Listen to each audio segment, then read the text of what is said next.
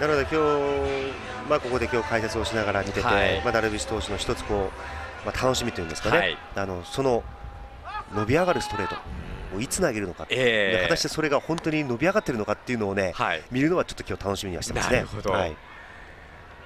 依然として向かい風9メートルの QVC マリンフィールドバッターは9番の渡辺雅人です。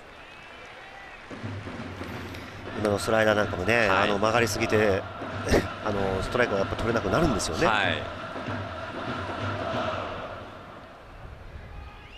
ワンボールから。レフトへ。どうだ？レフトの前に落ちボールが後ろへそらされています。渡辺雅人は一塁を回って二塁へ向かう。二塁を回った三塁へ向かう。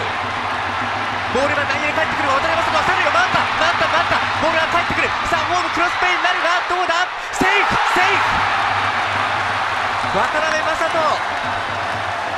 マリーンズ1点を先制です。記録はランニングホームラン。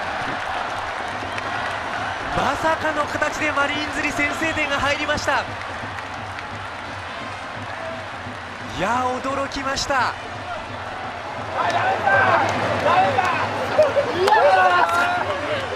一塁ベンチこの盛り上がり、まあ、今中田への、まあ、ライナー性の当たりはいもう一度ご覧いただきましょう。うん、ここで後ろへそらします。うんあるんですよね、こういうことがね、えー野球には。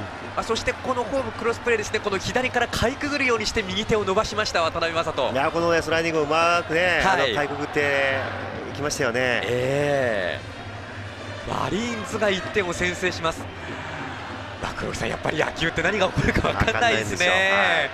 マリーンズの初ヒットが渡辺雅人のランニングホームランになりました。